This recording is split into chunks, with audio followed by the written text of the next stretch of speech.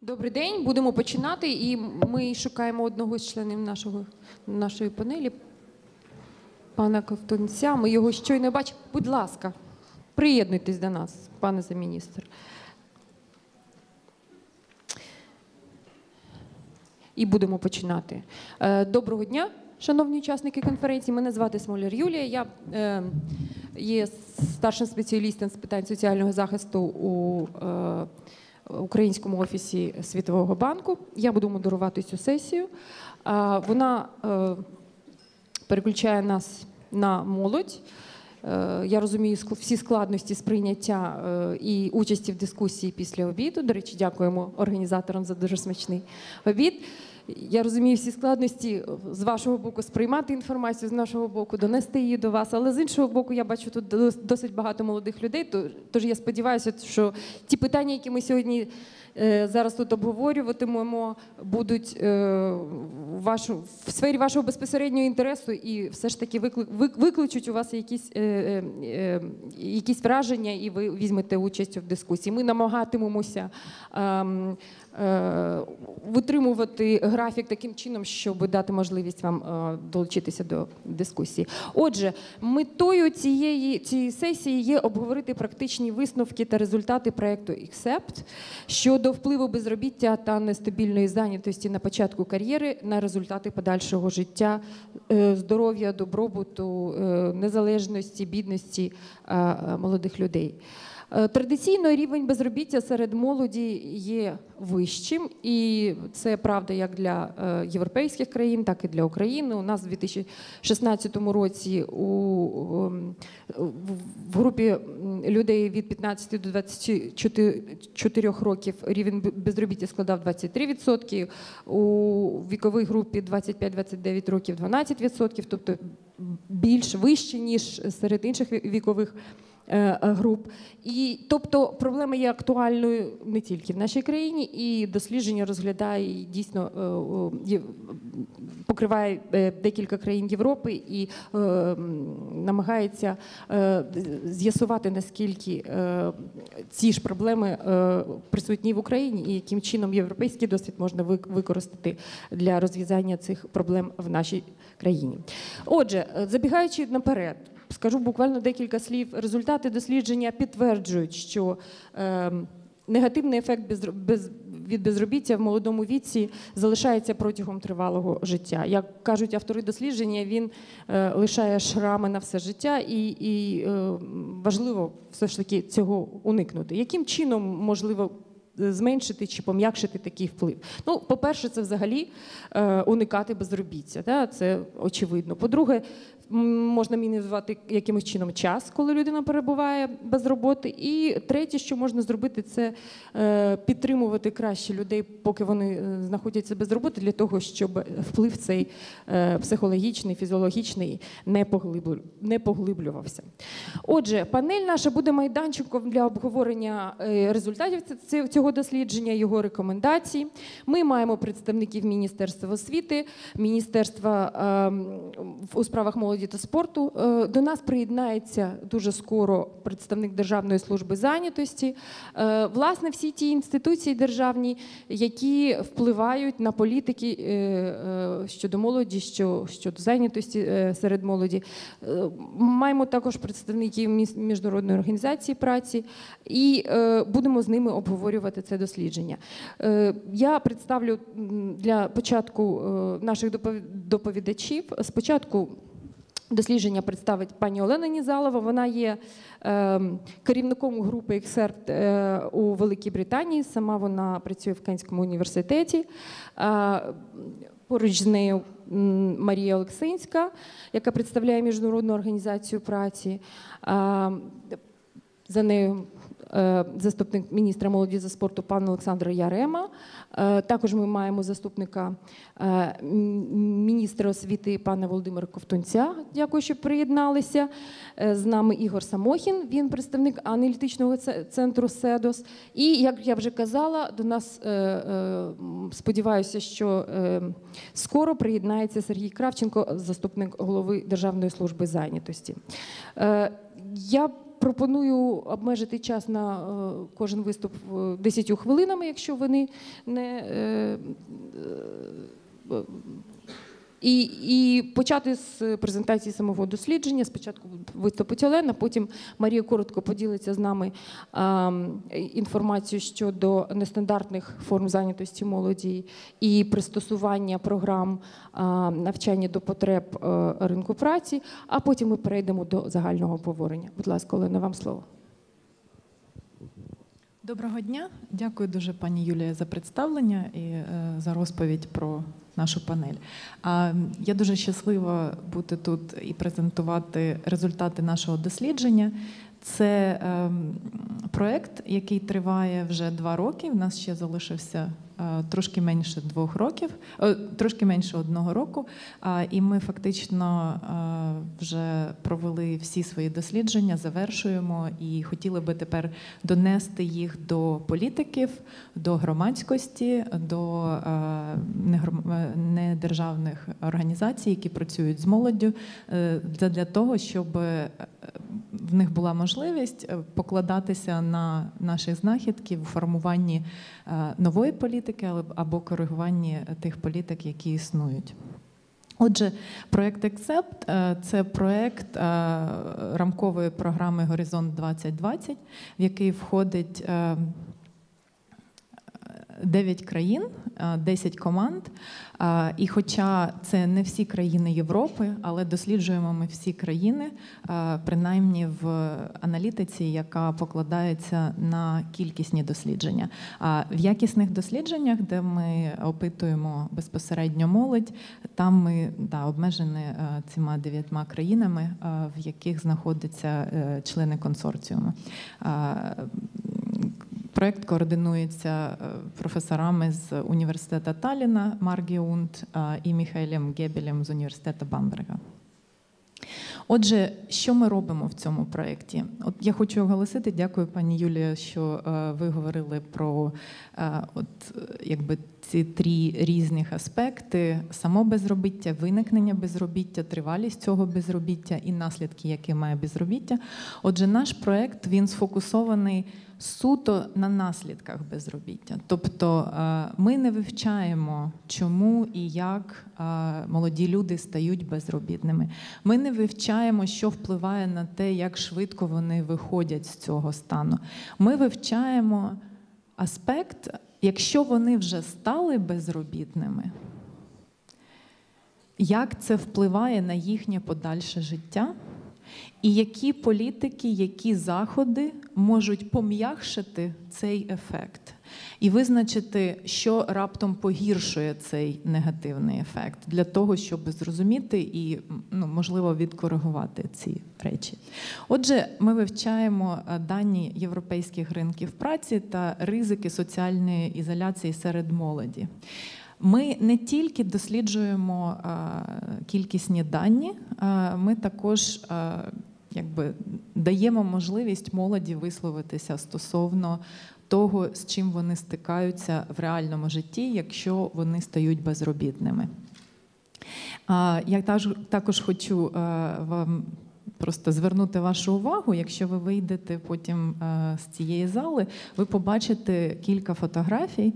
Це е, переможці нашого конкурсу, е, фотоконкурсу, який тривав минулого року три місяці навесні і на початку літа, тому що ми хотіли дати можливість молодим людям показати за допомогою візуальної такої медіа, показати, як вони бачать складності які пов'язані з виходом на ринку праці, з дорослішанням, з виходом, е, з закінченням навчання і так далі. Будь ласка, зверніть увагу, подивіться історії цих людей. е, Біля деяких фотографій вони є. До речі, ця фотокартка це абсолютний переможець конкурсу. Почуйте нас, мабуть, я би так його назвала. Отже, сам наш підхід до аналізу це багаторівневий аналіз. Ми вивчаємо зв'язок на індивідуальному рівні від безробіття до трьох аспектів життя. Один аспект це здоров'я та суб'єктивний добробут, які оцінюються або рівнем щастя, або рівнем задоволеності життя. Другий аспект це автономія.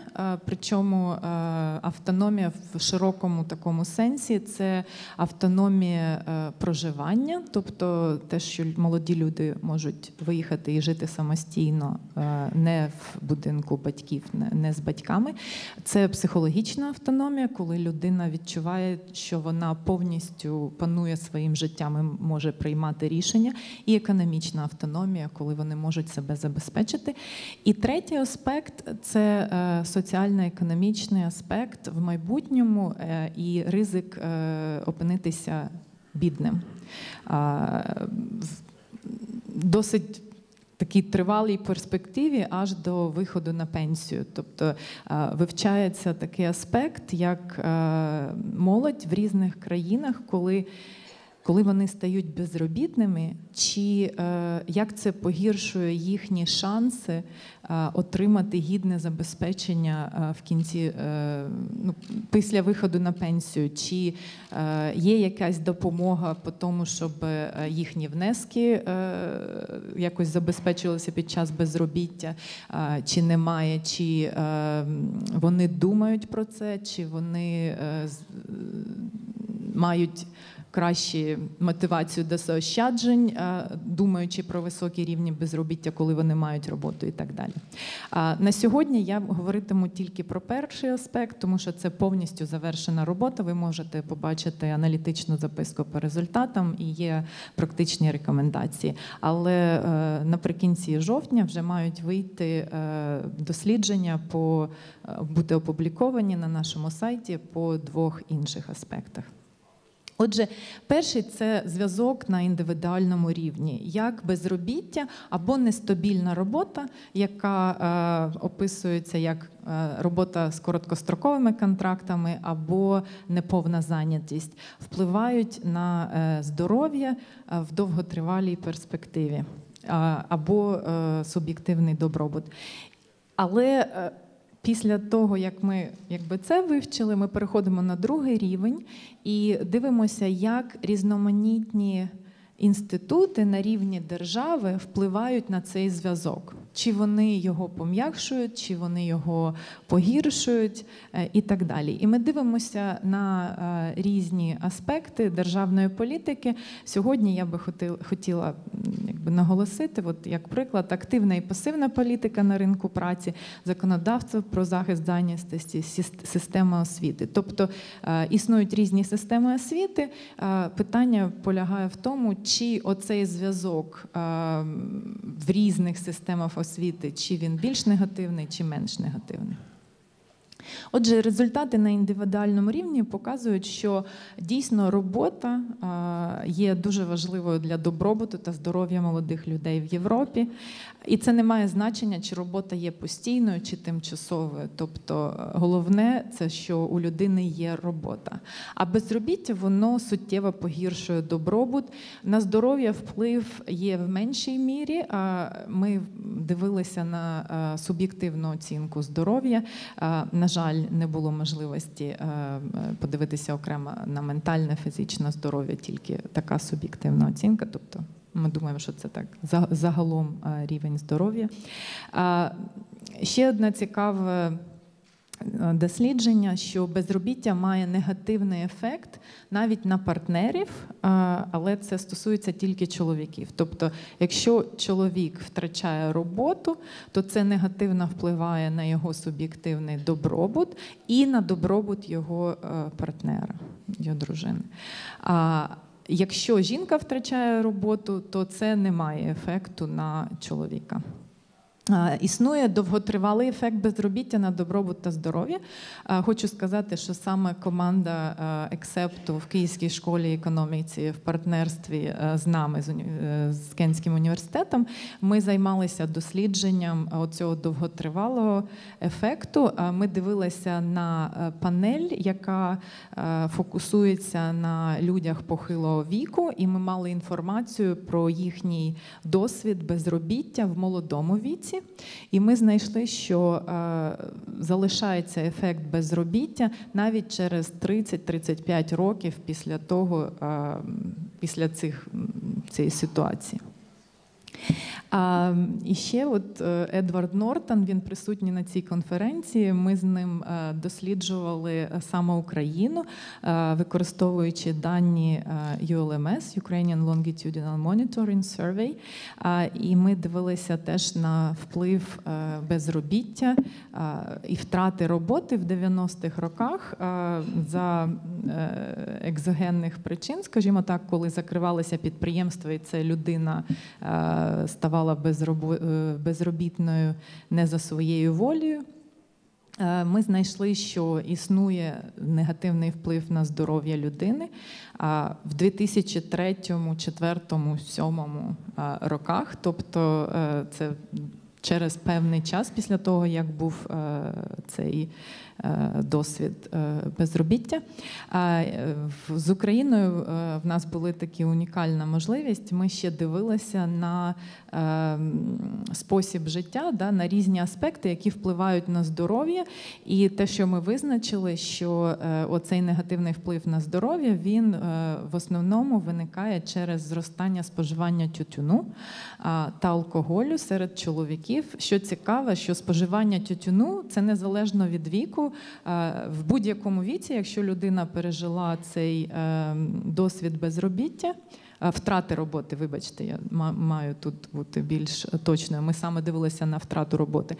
То приблизно на 20% збільшується ймовірність тютюнопаління, і вона незалежна від віку. А стосовно алкоголю, вплив в основному через молодь. Тобто, якщо в молодому віці людина е, пережила е, досвід безробіття, то збільшується споживання е, алкоголю. А якщо вже в більш зрілому віці, то цього не, немає. А у жінок через зменшення фізичної активності. Отже, наступні це результати на другому рівні державна політика щодо ринку праці та освіти. Певні аспекти є досить ефективними у контексті зменшення цього негативного впливу на рівень добробуту. Ну, зрозуміло, що збільшення обсягу виплат з безробіття, тобто чим більше е, ці виплати, тим е, легше людині перенести цей період. Що цікаве, зниження стратифікації системи освіти, збільшення відсотку випускників шкіл, які вступають до вищих навчальних закладів. Е, Мається на увазі, що люди в країнах, де більше людей е, мають вищий рівень освіти, ну, тобто йдуть е, навчатися в університетах, там цей е, вплив е, менш негативний. Е, І надання е, або покращення можливості щодо отримання другого шансу на продовження освіти. Оце досить теж цікава е, знахідка, яка е, ну, досить такий суттєвий вплив е, цієї політики.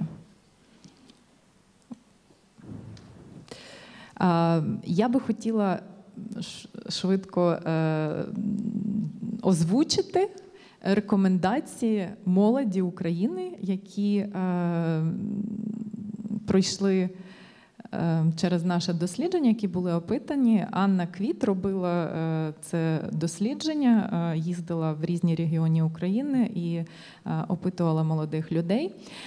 І те, що вони озвучували, е, можна поділити якби на три, на три аспекти. Перший аспект це підтримка професійного розвитку, це покращення професійної орієнтації. Е, Респонденти наголосили на е, нестачі інформації щодо е, доданої вартості освіти, диплому для знаходження роботи або отримання більшого доходу. Е, Щодо реалій різноманітних професій і е, щодо попиту ринку на різні професії, Е, це цитата з одного з інтерв'ю. Навіть коли я вступала в університет, то там був такий стенд великий, на якому було написано багато хорошого про екологію, про те, що можна працювати такою освітою. Що ви, екологи, будете королі світу, ви будете все вміти, все знати, і вас будуть хотіти усі забрати на роботу. А по факту вийшла, університет випустив і як хочеш.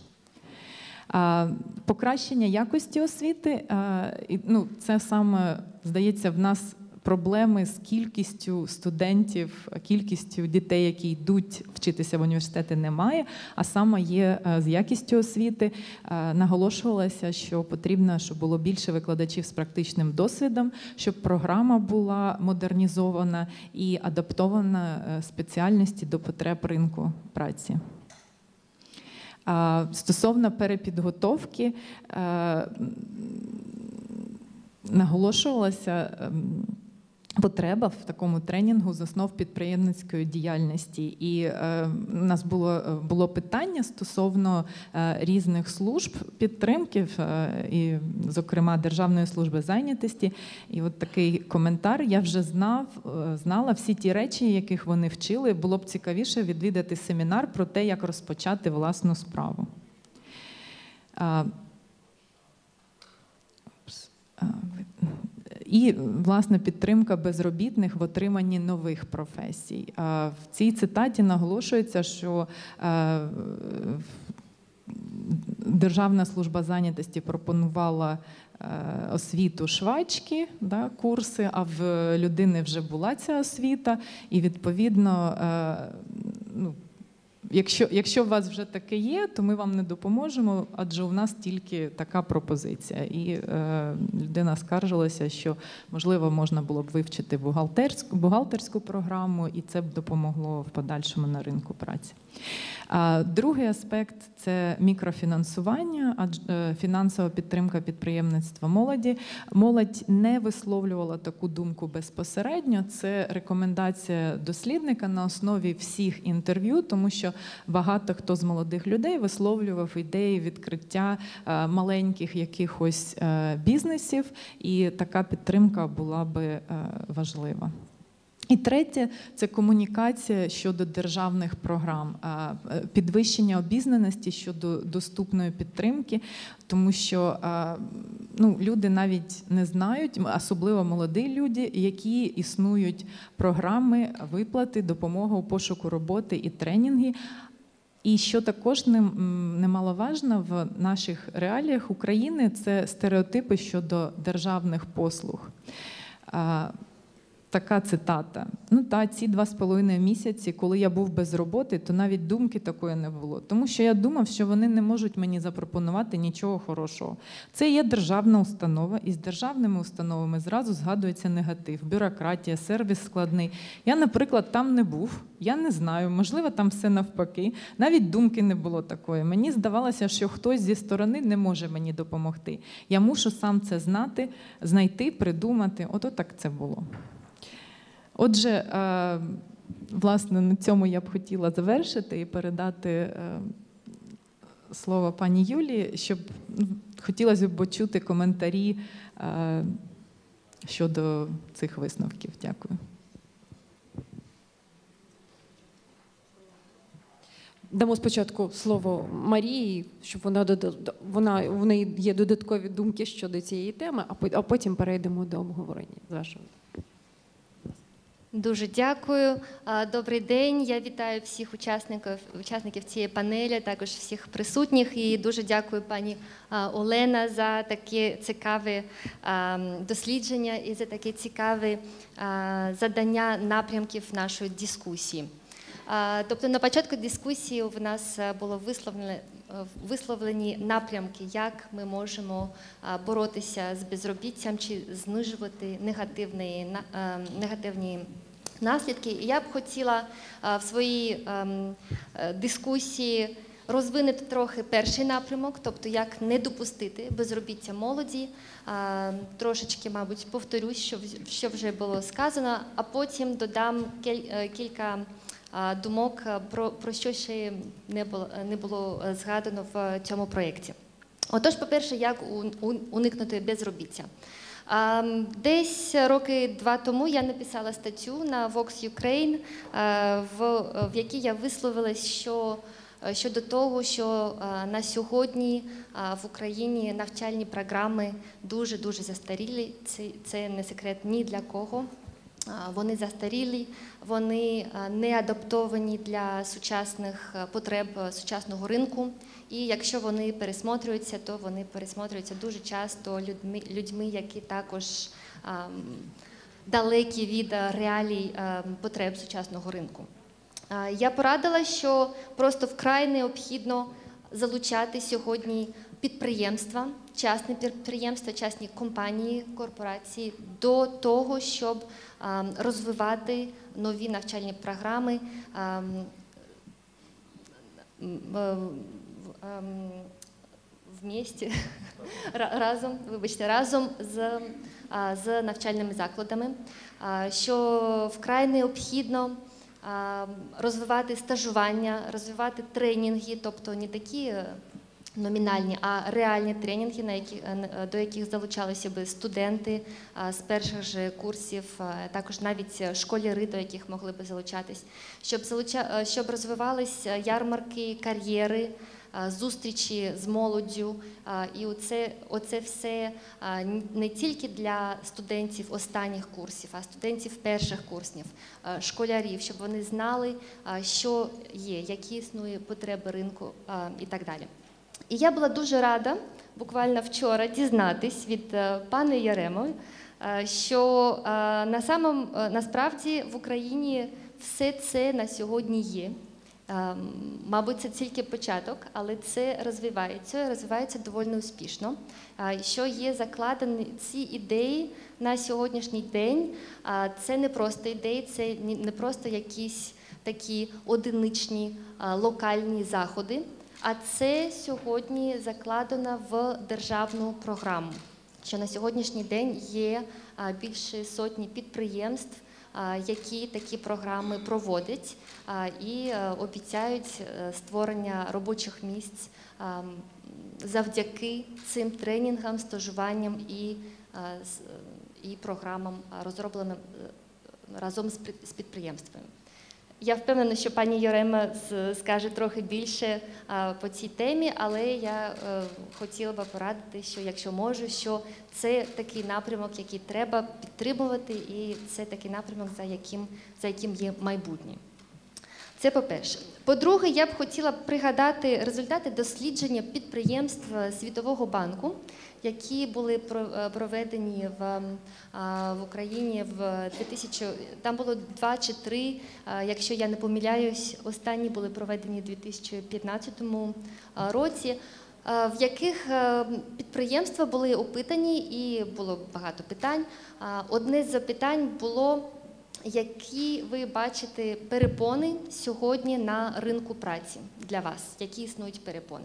І серед усіх перепон, такі як інституції, законодавча база, податки і так далі, кожне п'яте з опитуваних підприємств висловили, що нестаток технічної кваліфікованої робочої сили це є одна з важливіших перепон для сьогодні для підприємств. І я вважаю, що це дуже таке цікаве, цікаве знаходження, е, е, на якому треба зупинитись і подивитись ретельніше на це. Тобто йдеться не просто про кваліфіковану робочу силу, йдеться також про молодь і, йдеться про технічних спеціалістів. Тобто не йдеться про, про випускників вищих навчальних закладів, е, йдеться про дуже е, хороших спеціалістів ПТУ, технічних закладів і так далі. Тобто в нас в Україні сьогодні є перевиробництво модних дипломів: економісти, юристи, так, менеджери, секретарі. Тобто зрозуміло, що є попит на це, але є і пере- перевиробництво тих дипломів, і немає виробництва. Серйозних таких е, технарів, хороших спеціалістів. Це пов'язано в першу чергу з тою проблемою, про яку я е, зараз говорила. Це про, ем, е, про застарілі програми технічних навчальних закладів, але також це пов'язано із стигматизацією, яка існує в суспільстві щодо цих, цих професій. Тобто в нас є дуже часто є таке зневажальне ставлення, що ем, Учні, які не придатні ні для чого іншого, підуть в технічний навчальний заклад, і потім незрозуміло, хто з них е, вийде. Тобто е, тут е, робота має бути на двох рівнях: це і розробка більш сучасних програм для цих технічних закладів, а також і робота з нашим суспільством, з зміною ставлення для цих професій і розуміння того, що ці професії, професії в сучасному світі вони е, важливі, що на їх на них є попит, і е, що треба повернути повагу до е, спеціалістів з технічними навичками. І третє, останнє, що я хочу сказати, і це, це не було зазначено, але це така нова тема. В проєкті і дуже часто ми дивимося на проблеми роботи безробіття тими очима, що в нас є дві- категорії робота і безробіття, тобто два екстремальних таких пункти. А насправді зараз е, світ роботи в цілому він, він дуже змінюється. І дуже часто немає такого, щоб людина взагалі була не, неактивна повністю. Тобто, е, тобто присутня якась активність. Тобто, тобто є люди, які працюють, не працюють, працюють, не працюють. І дуже часто ми спостерігаємо це серед молоді в тому числі. Тобто якась активність є, якась зайнятість є, є. І зараз ми спостерігаємо завдяки технологіям, сучасним технологіям, дуже такий великий сплеск роботи через мобільні аплікації, через інтернет-платформи. Взагалі були, були проведені дослідження по всьому світі, щоб подивитись, які платформи існують і які, який процент сьогодні роботи е, виконується через ці платформи. І ми бачимо, що в Україні існує десь близько 20 сьогодні платформ. Деякі з них орієнтовані на український ринок, деякі орієнтовані на російськомовний ринок, але також є і платформи, які орієнтовані на світовий ринок праці. І ось, якщо дивитися як, е, лише на платформи, які орієнтовані на світовий ринок праці, то ми бачимо, що Україна сьогодні знаходиться на першому місці е, в Східній Європі за обсягом фінансових потоків і за обсягом завдань, які розташовуються на цих платформах в it сфері. І на четвертому місці в цілому обсязі, в обсязі фінансових потоків і завдань по, східній Європі. Тобто тобто в Україні на сьогоднішній день це такий феномен, який ем, отримав е, розвиток, і це такий феномен, який буде розвиватись. І звичайно, молодь в першу чергу е, це, молодь, яка працює на е, цих інтернет-платформах. Це дуже такий інтересний момент, бо в нас постає багато питань. Тобто, з одного, з одного боку, ці інтернет-платформи вони надають багато перспектив, вони надають е, роботу, вони позбавлюють нас безробіття, вони дають змогу вийти на якісь е, е, мірові, світові ринки, тобто дають змогу поширити свої можливості. Також вони дозволяють приток е, фінансових потоків в Україну, але одночасно це така робота, яка має з собою ризики, і це, ці ризики, ризики треба, треба розгля- розглядати дуже уважно. Це, ці ризики пов'язані з тим, що ці платформи можуть закривати е, ваші рахунки, є е, ризики невиплат заробітних е, плат. Тобто навіть ми не говоримо про заробітні плати, це, це доход, який ви отримуєте. І дуже великі ризики пов'язані з тим, що люди, які працюють через ці платформи, вони, вони представляють себе як, ем, як незалежних працівників, тобто в них немає роботодавця. І е, з цим пов'язані такі проблеми, як е, сплата податків, такі проблеми, як е, медичне, медичне страхування, соціальні виплати, пенсійне забезпечення і так далі. Все це лежить на плечах цих працівників, незалежних працівників і лише них. І дуже часто ми бачимо, що вони самі не, не, не, не приймають участь в цих програмах. Тобто, це така невеличка бомба, закладена під всі систем, системи соціального забезпечення, які сьогодні є в Україні. І це такі речі, е, над якими треба буде розмишляти, розмишляти доволі скоро. І тобто питання таке, яке постає сьогодні, це коли ми е, думаємо про навчання нашої молоді, як адаптувати молодь до сучасного ринку, держава вкладає багато грошей на сьогоднішній день. Ми можемо е, спілкуватись багато чи не багато, але вона вкладає гроші в освіту, е, в шкільну освіту, в технічну освіту і так далі. Яким чином ми сьогодні хотіли би, щоб е, результат цього цієї інвестиції державної потім був би використаний на те, що молоді спеціалісти виходять на ці платформи і свої навички вони використовують для того, щоб працювати в на міжна- міжнародні корпорації, які е, постять ці завдання на платформах на світовий, на світовий ринок, а- а не на Україну. Тобто я не кажу, що це погано чи не погано, це ці питання, на які потрібно буде відповідати, і ці, ці питання, які постають перед молоддю е, в першу чергу на сьогоднішній день. На цьому я зупинюсь. Можна, можна буде продовжити в дискусії і е, передаю мікрофон далі. Дуже дякую, пані Марія.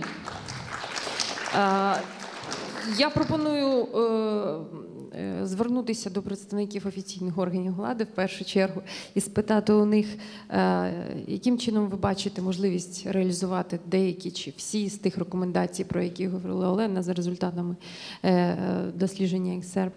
І також Марія теж поставила додаткове запитання, яким чином мобільні форми працевлаштування, яким чином е, та тенденція долучення е, нашої, нашої робочої сили до сучасних форм працевлаштування і до переходу до так званої убер-економіки, да, фрілансерства, яким чином е, чи, чи готові, чи готові наші державні політики відповідати на ці виклики, чи готові вони пом'якшити вплив цих або нестандартних форм працевлаштування тимчасового, або взагалі е, е, скорочення безробіття і впливу е, безробіття на подальше життя молоді. Будь ласка, передаю слово напевне пану Ковтунцю, бо я думаю, що в принципі система освіти вона є центральною у відповіді на ці запитання. Будь ласка. Дякую. Дякую за справді цікаві результати. Хоча, якби я займався такою проблемою, я би все-таки не відсікав від неї причину безробіття, тому що, очевидно, є кореляція. Це гіпотеза, що є кореляція між причиною безробіття і наслідками цього безробіття. І це було б набагато цікавіше подивитися. Е, З іншого боку, м, треба мусимо визнати, що е, значною, е, значною мірою причиною безробіття і загалом економічної стагнації нашої держави є наша освіта. Це маємо визнати. Е, Ми 25 років всім розказували, що в нас найкраща в світі освіта. У нас насправді найкращий, дуже хороший потенціал, щоб мати гарну освіту, але ми його, цей потенціал поступово е, наближаємо до нуля. Е, Я наведу дані, які щорічно оголошує Світовий економічний форум е, в індексі глобальної конкурентоспроможності, щоб ми зрозуміли, наскільки розбалансована наша система. Отже, е, з найвищих позицій за ступенем охоплення вищою освітою ми займаємо десь орієнтовно 10-12 місця впереді планети всієї 148 приблизно держав. Далі початкова освіта. Ми вже в четвертому десятку, природнича, е, математична і інженерна освіта в п'ятому десятку. І якість бізнес освіти, Quality of Business School, of School of Management, е, ми в кінці першої сотні. Попереду нас багато азіатських і африканських держав. І це означає, що з таким рівнем освіти, з такою, з такою з таким станом системи освіти, нам не те, що не подолати безробіття, нам не загрожує. е, Не загрожують, умовно кажучи, ні серйозні інноваційні інвестиційні проекти, тому що їх просто нікому реалізовувати. І Якщо подивитися по вищій освіті, от я, я розумію, що побути 4 роки в університеті це відкласти на якийсь час е, проблему безробіття для себе, але не означає її вирішити. Е, В вищій освіті ми маємо жахливі дисбаланси. Ось, наприклад, е, таке не, не досить надійне дослідження, поверхове, але, е, але е, показове. Е, І воно підтверджується. В одній з областей кількість молоді зареєстрованої на біржі праці з дипломами економістів і юристів більша, ніж обсяг держзамовлення для всіх ВНЗ по цих групах спеціальностей в цій області. Це то гроші летять просто на вітер. Наступний результат наслідок цього це просто нікудишня якість освіти.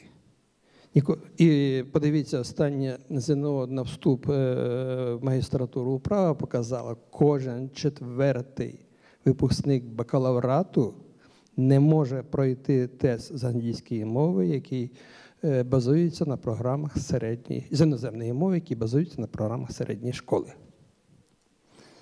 Тобто це, це, це, на, на ці речі не, не можна реагувати. Але е, ширше, і ширше стоїть інша проблема загалом якість робочої сили. Коли ми зараз говоримо про новий проєкт нової української школи, то ми наголошуємо більше на е, поєднання освіти і виховання і формування цінностей. Розумієте, заходять е, е, інвестори, до нас готові створювати робочі місця рік-два і тікають. Дві причини. Перша, е, не можна привчити наших працівників до технологічної дисципліни, а друга не можна відучити красти. Ну, третє, про те, що інколи бракує реальних кваліфікацій, це, це про це вже я, я не говорю, це, це можна досягти. Але формування особистості, виховання залишилося далеко за, за бортом. І тому, е, тому, на мій погляд, абсолютно правильна е, політика уряду нинішнього в тому, що спочатку треба кардинально змінити систему освіти, підняти якість освіти, зробити її сучасною. Тільки тоді можна буде розраховувати на на якісь серйозні економічні реформи, створення робочих місць і ліквідацію е, безробіття. В чому тут є дві складові, я коротко зуб, два фактори. Перше, це, власне кажучи, допомогти молоді знайти те, що Сковорода називав сродна праця. Е, Знайти своє місце в цьому житті, щоб вона могла реалізувати себе. Мова йде про профорієнтацію, якою ми зовсім не займаємося. Ми зовсім не займаємося, і молода людина після 11 класу навмання собі вибирає куди-небудь, аби вступити. А потім виявляється, що отримавши диплом магістра філософії, вона повертається в техніку, щоб отримати молодшого спеціаліста з електротехніки, бо тільки тоді можна отримати доступ до роботи з високовольтними мережами і знайти робоче місце.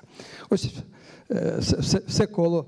Е, е, на цьому замикати. Друга проблема е, безробіття це е, власне відсутність надійної інформації і прогнозу розвитку ринку праці. Я розумію, що це складна проблема. Е, Небагато європейських країн вміють прогнозувати ринок праці, але хоча б поточні потреби, поточний стан ринку праці, скажімо, в Нідерландах він якось оцінюється непрямими методами, і молода людина орієнтується, де можна знайти роботу собі. У нас цього немає і близько. Я скажу, що те, що називається у нас державне замовлення, я з усією відповідальністю скажу, я за це відповідаю вже другий рік. Е, Наше державне замовлення базується на фантастичних цифрах, е, які не відображають жодної е, реальності. Жодної реальності, і поки ми навчимося якісно аналізувати потребу ринку праці, ми не приймемо жодного грамотного рішення. Ми будемо сипати гроші на вітер. Е, Для прикладу назову, що якщо взяти, е, скажімо, інформацію із е, сайтів служби зайнятості, які оперують вакансіями і пропозиції, і заявами на працю на робоче місце, то ситуація така, що на одне місце робоче, на одну вакансію з вищою освітою 5-7, в залежно від часу, вакансій без вищої освіти. І ми зараз дуже серйозно працюємо над тим, щоб коледжі, технікуми, ПТУ перетворити, реорганізувати, створити сучасну модерну систему професійної професійної невищої освіти, яка може забезпечити якісною робочою силою і дати всім робочі місця. Цих робочих місць доволі багато. А людина, яка отримала диплом з вищої освіти, не являє, що цей диплом їй нічого е, досить часто нічого не дає. Вона закінчує часто свою кар'єру на торговцем на, на ринку. Ну і нарешті. Е, Нарешті е, е, якість освіти, рівень освіти, особливо в вищій освіті, м, е, відірваність від ринку праці, вона, вона просто жахлива. Ми тільки зараз дали можливість університетам е, законом новим законом про вищу освіту е, стартувати з власними програмами без будь-якого державного контролю. Ви отримали ліцензію на там групу на, на одну спеціальність. Це по суті це є е, вузька галузь освіти, і в цій спеціальності робіть, що хочете. Працюйте за будь-якими програмами. Тільки один університет, і той приватний, український католицький, зараз скористувався успішно цією можливістю, запропонував освітню програму, яка виводить на ринок праці, де не треба доучувати. Всі інші поки що живуть по старіці. Наприклад, є колосальна потреба підготовці кваліфікованих фахівців з електронного бізнесу. Ну, Вибачте, те, що відбувається на наших е, майданчиках електронних магазинів, не витримує жодної критики ні з точки зору програмування, ні сервісу, ні дизайну. Відчувається, що це така наївна робота людей без особливої кваліфікації. От. Жодної програми електронного бізнесу жоден університет не запропонував. Хоча європейські університети почали робити це в 99-му році, як тільки почал- почалась розмова про елек- електронний бізнес. Е, Наступна сфера фермерство. Фермерство. От е, недавно уряд слухав це питання.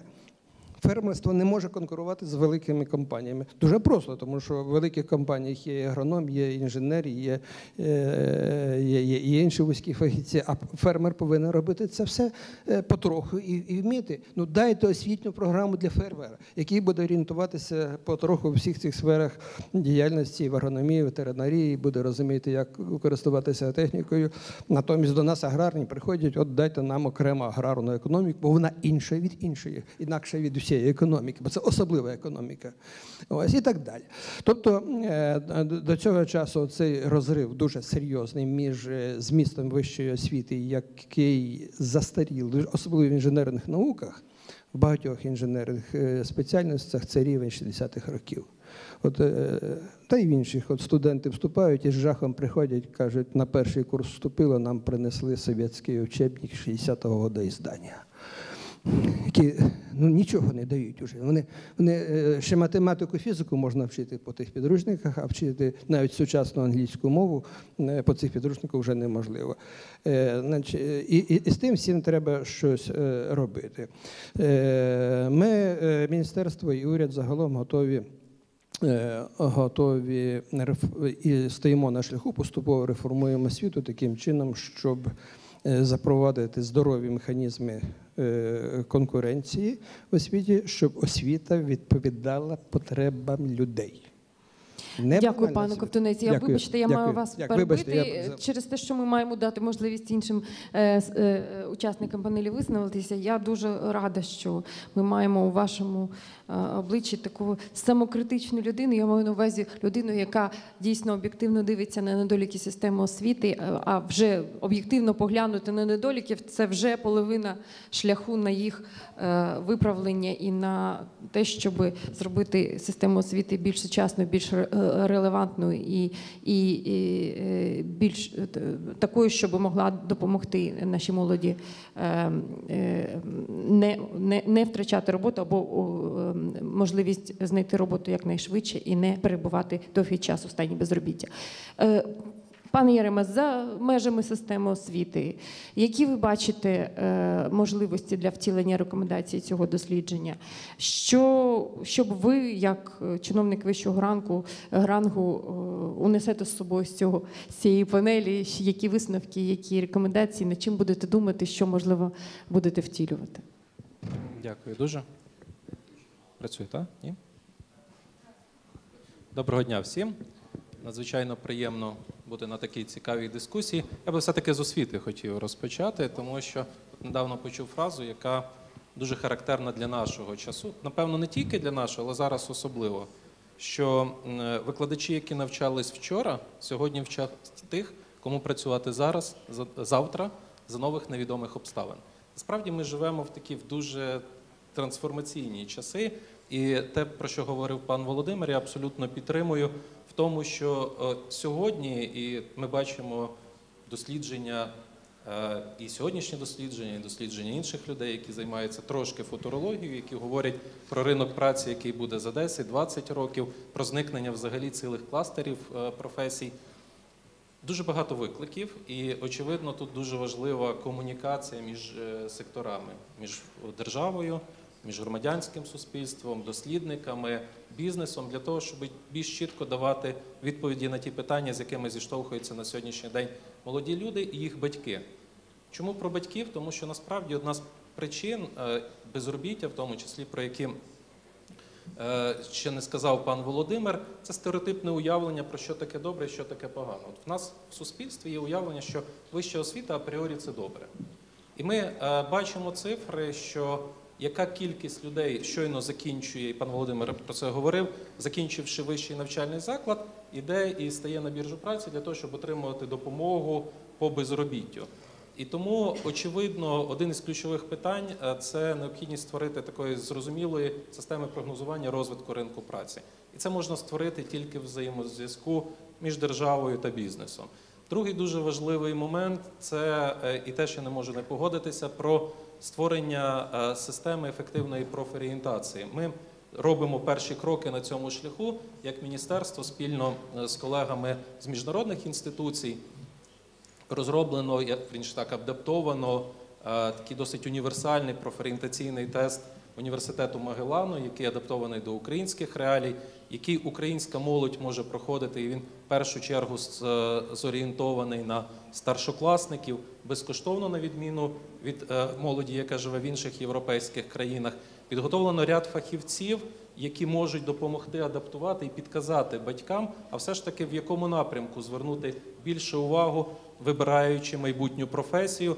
І ми бачимо, що вже кілька сотень тисяч молодих українців скористалися цим. Я сподіваюся, не маємо ще такої релевантної оцінки, як воно вплинуло, але розуміємо, що це принаймні перші кроки в, на цьому шляху. Дуже важливий е, момент. Вертаємось знову ж таки до цієї міжсекторальної співпраці. Минулого року наше міністерство спільно з Центром корпоративної соціальної відповідальності радом е, бізнес-інституцій ініціювало підписання пакту для української молоді. В чому ідея цього продукту? Тобто, коли е, під- підприємства, бізнес в межах розвитку своєї корпоративної соціальної відповідальності, ця ініціатива з'явилася на рівні європейської спільноти півтора роки тому. Говорять і звертають увагу на молоду людину, на спеціальну таку групу. Я думаю, що це одна з найбільш вразливих груп, тому що вони роблять щойно перші кроки. Дуже багато знову ж таки вони намагають, молодь намагається розібратися, а в якому напрямку робити ці кроки. Розроблено кілька е, позицій, кілька параметрів, на які спрямовано е, цей пакт. Тобто, перше, це є е, створення робочих місць для молодих людей, сфокусовано на молодих людей, розвиток нових програм стажування, і так само ми говоримо про молодих людей, і розвиток партнерства між бізнесом та університетами, але не тільки університетами, йдеться і про професійно-технічні заклади і таке інше. Я хочу сказати дуже коротко про результати. Ми е, пакт до 2020 року, тобто такі виставили собі певні завдання. Е, Рік тому підписано. Було завдання 10 тисяч робочих місць е, нових створити. Розумію, що це може не дуже велика цифра в, рамках України, але принаймні такий крок був зроблений. Розвинути 100 партнерств між бізнесом і університетами. Що ми маємо сьогодні? Трошки більше, ніж там рік після. 11,5 тисяч робочих місць і 270 партнерств. Що дають ці партнерства? Тобто партнерства дають адаптацію і осучаснення програм навчальних закладів. Бізнес, який розуміє, кому хто йому потрібен, тому що я теж можу підтвердити, в мене перша освіта інженерна. І коли ми навчалися, я інженер-землепорядник за освітою, коли ми навчалися на теодолітах 53-го, 55-го року випуску і прийшовши в підприємства, а тут уже космічні технології, то для багатьох це була паніка, шок і зрозуміло необхідність витрачати час і для е, і особистий, і для компаній, для того, щоб перенавчити і е, змусити або сказати, ви забудьте все, що було до того, а тепер розберіться, що насправді існує на ринку праці. Е, І тому насправді е, те, як ми бачимо, що проект розвивається е, досить динамічно. На сьогоднішній день це вже понад 58 компаній, при тому, що серед них є різні. Є такі компанії, як Метро, Кока-Кола, ДТЕК, Укртелеком, які починають більше думати про те, а все ж таки, яким чином допомогти молодим лю- людям знайти себе на ринку праці. Бачимо нові цікаві досвіди програми стажування. Ми пішли е, не тільки розвивати е, ці речі на національному е, рівні, але так само на регіональному. І буквально у вівторок в Одесі відбудеться третій з таких форумів, в якому збираються представники бізнесу, HR, представники компаній і молоді люди, і е, дискутують про те, а які очікування у бізнесу від молодих людей, від навичок, від компетенцій. Тому що е, один з важливих моментів, про який теж не можна забувати, якщо ще років 20-30 тому можна було здобути вищу освіту і протягом життя раз чи двічі пройти курси підвищення кваліфікації, бути більш чи менш успішним на ринку праці. То сьогоднішній день освіта впродовж життя це вимога часу. І неформальна освіта. І я дуже радію, що буквально минулого тижня парламент прийняв закон про освіту, де визнав неформальну освіту теж як дуже важливий такий напрямок розвитку і здобуття освіти для е, молодих людей. І тому ці форуми, де як майданчики, на яких можуть зібратися і представники бізнесу, і про це так само йшлося в дослідженні. І молоді люди дозволяють ще на рівні е, навчання. Ми говоримо, що цільова група це старшокласники, студенти молодших курсів, допомогти їм краще зорієнтуватися і зрозуміти, на що звернути увагу під час навчання. Це питання знову ж таки про розвиток відповідальності, тому що на жаль, ми багато років, ну якась не, не багато, але, але й немало. Тобто 26 років відійшли від тої радянської такої патерналістської моделі, коли держава вирішує і держава знає, як краще для громадянина йому розвиватися, яку освіту краще здобувати, чи яку о, де працювати, в якому місці. Але тепер ми так само повинні не забувати про відповідальність молодої людини і, і, і кожного окремого громадянина про, про те, яким чином бути успішним. І ми про це говоримо через, зокрема, інструменти неформальної освіти. Маємо е, цікаву програму неформальної освіти Молодіжний працівник, фактично такі люди, які працюють і в секторі молодіжної політики, і в громадському секторі, і в секторі культури, до прикладу, чи соціальної політики, навчаючись, отримуючи знання, навички, кваліфікації, яким чином спілкуватися з молодими людьми однією мовою, з ними допомогти їм знайти себе, тому що. Ми е, в даному випадку е, говоримо не тільки про безробіття, але й про зайнятість. Тобто про те, що молоді люди повинні бути зайняті, і це може бути громадська діяльність, так само, і це може бути волонтерська діяльність, це може бути об'єднання навколо ідей, зміни навколишнього простору. Е, Ми нещодавно буквально спілкувалися з рядом молодих таких колективів, які займаються урбаністикою, облаштовують простори, чи молодіжний парк в Хмельницькому можна згадати, чи парк Наталка на оболоні і багато інших таких ініціатив. І тут я думаю, це питання комплексне. Тобто, і якраз е, е, ви про це говорили, про те, що е, трошки змінюються часи, з'являються нові форми, яких не було ще буквально нещодавно. І очевидно, і завдання держави підтримувати активний діалог, оцей міжсекторальний бізнесу, громадянського суспільства, для того, щоб бути готовими відповідати на ці виклики. Зараз ми працюємо. Я також хотів би закликати колег з е, дослідників над розробкою національного плану дій е, зайнятості для молоді, в якому могли би бути відображені е, всі сторони цих партнерств, і разом подумати, яким чином створити максимально сприятливі умови для того, щоб молод- молода людина чітко розуміла, що їх чекає на ринку праці, які є можливості, і яким чином бути успішним на цьому ринку. Дякую. Дуже дякую, пані пане Яремо. Дуже відрадно чути, що є державні програми, які опікуються питаннями е, безробіття серед молоді і е, намагаються запобігти цьому явищу. І, а якщо вже людина потрапила, все ж таки підтримати і надати людині другий шанс. Це дуже важливо і. Власне, дуже важливо навіть знати про те, що вони існують, бо я впевнена, що далеко не всі з присутніх, і навіть ті, хто безпосередньо займається наукою е, і вивчає ринок праці, знають про існування цих програм. Е, я хотіла би залучити до дискусії е, пана Ігоря Самохіна. Ви вже ви, ви знайомі з результатами дослідження. Я впевнена, що у вас теж є що сказати з цього приводу, і що ви теж досліджували подібні питання, чи навіть ті самі. Які можливо ви додаткові рекомендації можете дати для е, присутніх тут представників влади, або чим ви можете доповнити можливо ці рекомендації в інших сферах? Будь ласка, вам слово, пане Ігоре. Е, Дякую. Е, Я працюю в відділі освіти аналітичного центру ЦЕТОС, тому я повернуся знову до теми освіти. Е, Я погоджуюся з паном Володимиром стосовно якості вищої освіти в Україні. Хоча е, дані показують, що е, незважаючи на це якість вищої освіти, рівень безробіття у людей, які мають вищу освіту, він все, все одно нижчий, навіть в Україні. Нижчий, ніж у людей, які не мають вищої освіти. І річ у тім, що навіть найгірші ВНЗ вони так чи інакше виконують функцію соціалізації, вони е, дають якісь знайомства, дають якусь адаптацію до життя в великому місті, зокрема для студентів. І тому це все одно виконує якусь корисну функцію. Інше питання, чи справді держава, ну, чи держава повинна платити за цю функцію соціалізації університетів, чи е, університети повинні також давати справді знання і навички. І, звичайно, потрібно підвищувати якість вищої освіти. Але е, крім цього, е, велика проблема є в тому, що багато е, людей, багато молодих людей не готові насправді навіть вступати у вищі навчальні заклади, або якщо готові, вони не готові до серйозного навчання через рівень середньої освіти в Україні.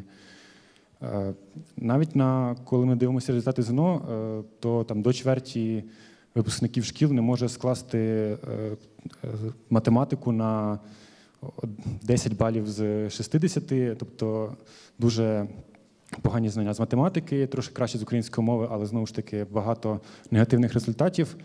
І це важливо, тому що відомо з досліджень соціально-наукових, що е, середня освіта, тобто ці роки життя від 6 до 16 років, вони е, більш важливі для е, підготовки людини, для створення якби, бази знань і здібностей людини, ніж вища освіта, яка відбувається пізніше в житті, коли людина вже сформувалася як індивід. І тому е, я б хотів звернути увагу також на середню освіту. Зокрема, найбільші проблеми в сільській освіті в Україні. Е, Випускники сільських шкіл мають е, суттєво гірші результати, ніж випускники міських шкіл. І це зрозуміло, тому що родини цих школярів сільських вони мають нижчий соціально-економічний статус, вони мають нижчі доходи в селі, менші можливості для культурного розвитку і так далі. Але є можливості деякі проблеми вирішити, зокрема, за е, ту проблему, що е, в селі дуже багато маленьких шкіл, в яких не вистачає вчителів. Вчителі читають е, кілька різних предметів, для яких вони не обов'язково кваліфіковані. І ми вважаємо, що для підвищення рівня освіти в селі важливу роль може відіграти оптимізація шкільної мережі, те процес, який вже почався, тобто закриття найменших шкіл і або переведення їх е, в формат, коли е, одна опорна школа на всю е, громаду е, готує, е, якби яка має е, старші класи, і в якій зосереджені фінансування, зосереджені найкращі вчителі і зосереджені можливості для якраз підготовки до ЗНО і підготовки до е, вступу в вищі навчальні заклади, і де е, навчання в таких закладах буде е, йти на вищому рівні, і там вже не буде якби, порожні класи, в яких е, немає дітей, які не вистачає вчителів. Е, Це щодо села. Щодо великих міст, то е, ми бачимо також іншу проблему, про яку в Україні мало говорять. Е, Це якраз сертифікація системи освіти, про яку йшлось в рекомендаціях до дослідження Accept. Поясню, що мається на увазі. Е, В е, у великих містах існує великий розрив між е, хорошими школами, це переважно елітні школи, такі як гімназії та ліцеї, та слабшими звичайними школами ЗОШ. І е, цей розрив пояснюється не тільки якістю ліцеїв і гімназій, хоча, звичайно, вони вищої якості, але й тим, що вони відбирають собі найкращих учнів. Е, І коли вже ми дивимося на результати ЗНО, нам здається, що цей розрив велетенський, але цей розрив створений якраз завдяки тому, що ті учні, які, які були б найкращими, навіть якби вони вчили в звичайній школі, вони просто перейшли в гімназії. І е, це створює освітню нерівність, і це створює е, сегрегацію учнів за рівнем здібностей. І е, е, найгірші учні, можна сказати, концентруються в найгірших школах або вони зосереджуються в неліцейних класах, так званих. І е, це е, не дає можливості працювати так званим peer effects, коли однокласники, сильні однокласники своїм сильним рівнем допомагають витягувати слабших однокласників і підвищують загальний освітній рівень. Е, Порівнянні е, дослідження освітніх систем Європи і світу показали, що е, більш стратифіковані, більш сегреговані шкільні системи вони дають більшу освітню нерівність без підвищення середнього рівня якості освіти. І як ми бачимо е, із дослід- дослідження Accept, такі стратифіковані системи освіти вони також мають негативний вплив і на е, готовність е, випускників шкіл до ринку праці і до, на їхні перспективи на ринку праці. Ну, Я і... дякую вам, е, пане Ігоре. Я, на жаль, маю, маю е, е, е, завершувати сесію, тому що ми вичерпали свій час. Ми навіть вичерпали той час, який був відведений пану Сергію Кравченко. Дякую йому за те, що він не прийшов з одного боку. А з іншого боку, я дуже сподіваюся, він перепрошував, до речі, і, і я маю передати. е, Він перепрошував за те, що не зміг е, вчасно е, дістатися сюди і до нас приєднатися. Але я сподіваюся, що представники служби зайнятості серед нас є, і вони зможуть донести е, висновки і е, пропозиції нашої дискусії, тому що вони дійсно є е, важливими для того, щоб покращувати е, е, сервіси, що надає служба зайнятості. Вона має свою роль відігравати в всіх процесах. Останню ремарку попросив зробити е, пан Ярема. Я дам йому цю можливість. І я хочу перепросити у вас за те, що ми перебрали час і не дали можливість вам долучитися до дискусії. Але я сподіваюся, що ми можемо продуктивно ви- використати каву-брейк. І, якщо у когось є питання, безпосередньо підійти до доповідачів і поговорити з ними про це. Будь ласка, пане, нам дякую за хвилина, дайте людям можливість відпочити. Півхвилини. Е, Там одна з рекомендацій стосувалась розвитку підприємницьких ініціатив. Ми просто як е, один із важливих напрямків нашої роботи опікуємося розвитком молодіжних просторів, молодіжних центрів, місця, де молодь могла би реалізовувати себе поза навчальним процесом і поза е, своїм будин, своїм домом. І е, ми розпочали з минулого року такі. е, тестовому режимі менторські програми успішних місцевих підприємців для підприємців для молодих людей, яким цікаво е, підприємницька діяльність розвиватися в цьому напрямку. І хочу сказати, що маємо перші вже такі результати по ряду регіонів, де в результаті цього спілкування з'являються нові бізнеси, нові маленькі підприємства, і молодь себе реалізовує, створюючи робочі місця для себе і так само для інших молодих людей. Дякую. Дякую. Дійсно, такі настановчі, е, е, настановча робота з молоді вона є дуже важливою для того, щоб е, молоді люди зробили правильний вибір професії і, і розуміли важливість навчання взагалі впродовж всього життя. Я дякую учасникам нашої панелі. Я дякую вам за те, що були такі уважні. І, і я сподіваюся, що результати нашого обговорення і вам будуть корисні в вашій роботі. І, будь ласка, долучайтеся до безпосереднього спілкування з нашими панелістами під час кави брейк. На все добре.